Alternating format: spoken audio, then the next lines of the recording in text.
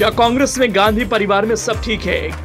क्या राहुल और प्रियंका गांधी के बीच अनबन की आई है खबर? बीजेपी के बाद अब कांग्रेस भी करने लगी इशारा। माजरा क्या है?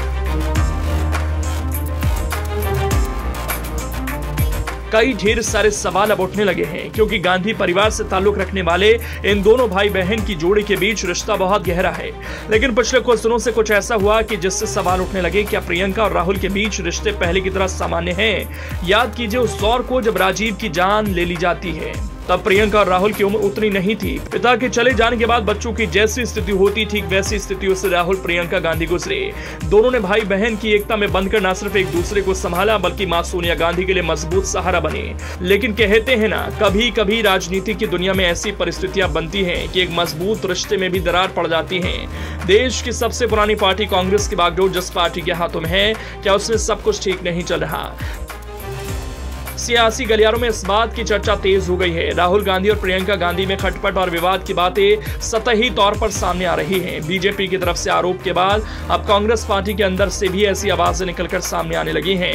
प्रमोद कृष्णम ने इस बात को लेकर इशारा किया है। कांग्रेस नेता और दो बार लोकसभा चुनाव लड़ चुके प्रमोद कृष्णम ने बताया, कांग्रेस की भारत न्याय यात्रा पर भगवान कृपा बरसाएँ। कांग्रेस पर खास लोगों का कब्जा हो गया है, जो प्रियंका गांधी को साइड करने पर काम कर रहे हैं।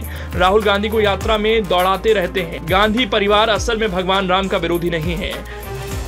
संभल में कल की पीठाधीश्वर आचार्य कृष्णम ने इसके साथ ही कहा कि इंडिया गठबंधन में जो साथी शामिल हैं, उनका निशाना बीजेपी पर कम और गांधी परिवार पर ज़्यादा है। कांग्रेस में जो श्रीराम और सच की बात करता है, जमीनी हकीकत को बताने की कोशिश करता है, उसे कांग्रेस छोड़नी पड़ रही है। उन्होंने कहा कि मिलिंद देवड़ा का कांग्रेस छोड़ना काफ़ी दुखद है। इससे पहले भाजपा आईटी सेल प्रमुख अमित मालवीय ने भी राहुल गांधी और प्रियंका गांधी के बीच सब कुछ सही नहीं चल रहा। उनका विवाद खुलकर सामने आ रहा है।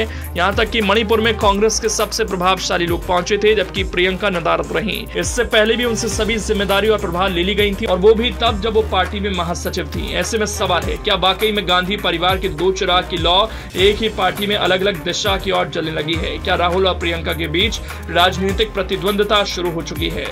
अब इन आचार्य प्रमोद कृष्णम ने जो दावा किया, जो इशारा किया, उसमें कितनी सच्चाई है, ये तो भविष्य में सामने आएगी।